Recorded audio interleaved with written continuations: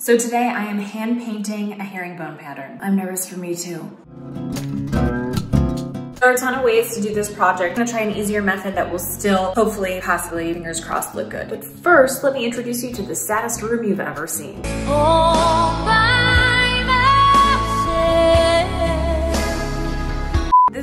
call a slash room. You know that room? The room that's a office slash guest slash get ready slash dog timeout room. Sit there and think about what you chewed up. This is why we can't have nice things. Now it's time to make your stencil-ish. There are official herringbone stencils out there, but one day shipping doesn't do you very good when tackling this project was a same day decision. So you're gonna take a piece of cardboard about seven to eight inches wide. Then you're gonna take a ruler to find and mark center point. From there, you're gonna choose and then mark your desired angle. So this ended up being just shy of two inches, so I'm gonna emulate that on the other side. And then of course, the next step is to cut on the lines, which would be very dangerous while I'm filming myself, so just trust that's what I'm about to do. This is totally optional, but I put a little stick on level because I'm not great with lines. You should see me putting on eyeliner. It's less like a wing and more like a branch. Prep your space with drop cloth and painter's tape if you wanna be on the cautious side. It's time to take the paint color of your choice. I chose a color from another room because I had it, it's free, and it's a light color, which feels more forgiving. Now you'll see I'm using a pretty thin brush, but I've seen DIYers use everything from a two inch brush to a sponge to a paint marker. All right, before your brush hits the wall, I'd recommend doing a few test runs. And this right here is why you practice first. It's gonna go great. I'm using tape to mark the center of the herringbone pattern, then also to hold me accountable to even spacing. So I did four inches from the left for the first piece, and then eight inches thereafter. This is to help it look like you didn't give a kindergartner a paintbrush and say, go have fun. Not even on my second line,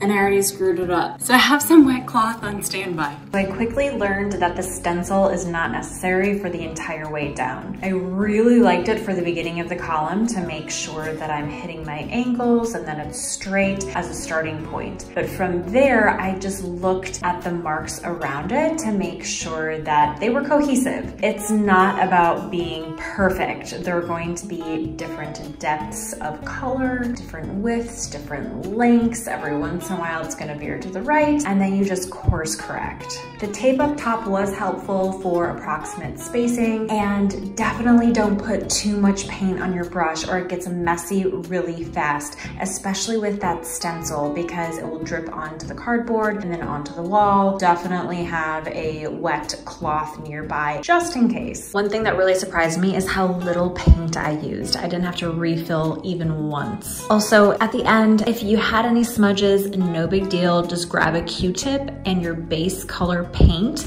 and touch it up. You guys, I'm very pleasantly surprised and super happy with the way it turned out. It's not perfect, but it feels perfectly imperfect. And like at least a third grader painted it, maybe even fourth.